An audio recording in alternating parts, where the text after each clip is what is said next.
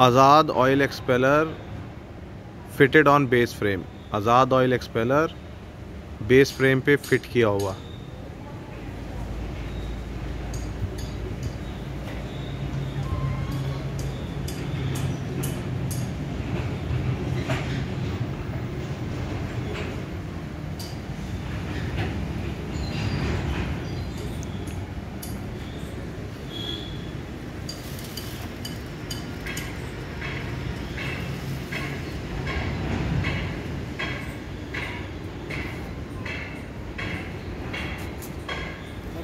இருக்குது